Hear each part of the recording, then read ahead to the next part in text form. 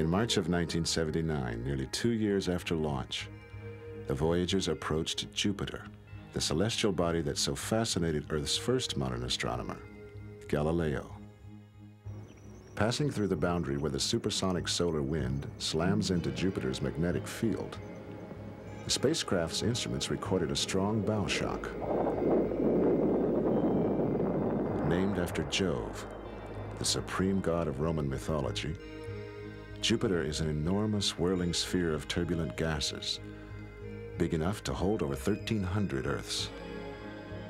The Voyagers discovered thin rings of dust encircling the planet, tiny grains containing silicon or carbon, like a fine haze of ash and smoke. Jupiter's atmosphere displays a dazzling variety of alternating patterns cold, light-colored zones dominated by ammonia ice crystals in the higher altitudes, and warmer, dark belts of solid sulfurous particles in the lower altitudes.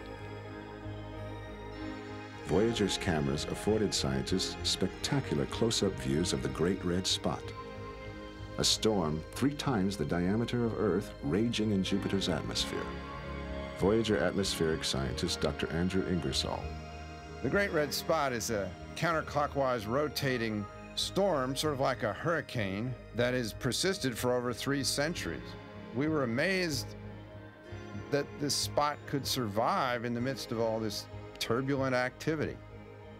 With at least 16 known moons, Jupiter could well be considered a mini solar system.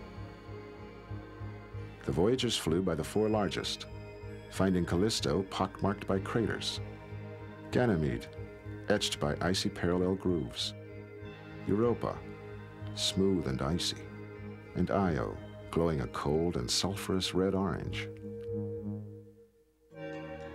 Nine active volcanoes were found on Io, the first observation of live volcanoes beyond Earth and Venus.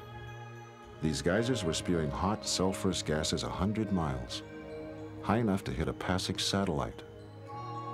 Voyager project scientist Dr. Edward Stone.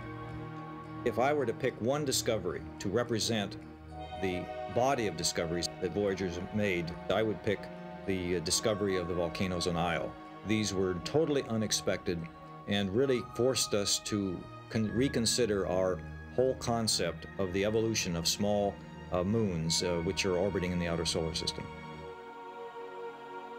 Pulling away from Jupiter after a joint reconnaissance of more than six months, the Voyagers got a healthy boost from Jupiter's orbit and made a beeline for Saturn.